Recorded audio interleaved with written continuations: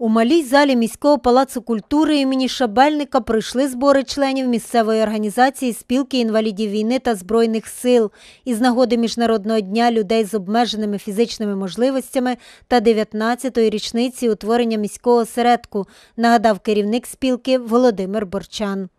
Ми зі свого боку будемо робити все від нас залежне, щоб турбота про вас була якомога більшою. Цей день зичимо вам, всім вашим рідним та близьким, міцного здоров'я, мирного неба, добробуту та всіяких земних гараздів. Із понад 200 членів спілки сьогодні присутніми на зборах змогли бути лише 40 осіб. Зупинила і посадила в домівки, мабуть, не тільки епідемія коронавірусу, а й загальний фізичний стан здоров'я спілчан. Бо ж, як бачимо, чимало з них прийшли із палицями і на милицях. Я дуже рад за вас, що ви зібралися, не сидите вдома.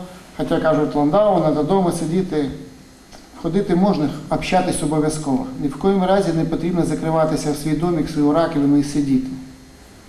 Ви всі пам'ятаєте времена, коли є можливість працювати, то один. Тільки пішов на пенсію, трошки все міняється. Треба жити, і такі організації об'єднаються. Треба создавати ансамблі, треба от, е, один одного заслухати на свята, готуватись до будь-яких мероприятий, де ви можете зібратися і бачити один одного. Ну а ми будемо допомагати в цьому, щоб обов'язково був обмін, щоб було життя, щоб воно тікло. Вас всіх святом, яке заставляє нас дивитися на вас по-іншому. Уважаемые коллеги, в нашому городі з давніх давен заведена добра традиція подякувати і матеріально допомогти ветеранам війни, ветеранам Збройних сил, ветеранам праці за те, що вони зробили для України, за те, що вони роблять і зараз, не дивлячись на поганий стан здоров'я.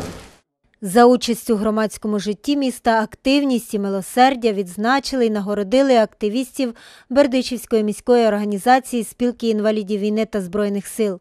Окрім того, було роздано 214 продуктових наборів та 103 конверти.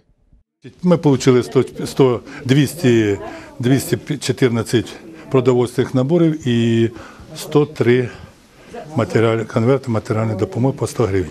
На, уч- на учеті в організації состоїть 300 членів організації.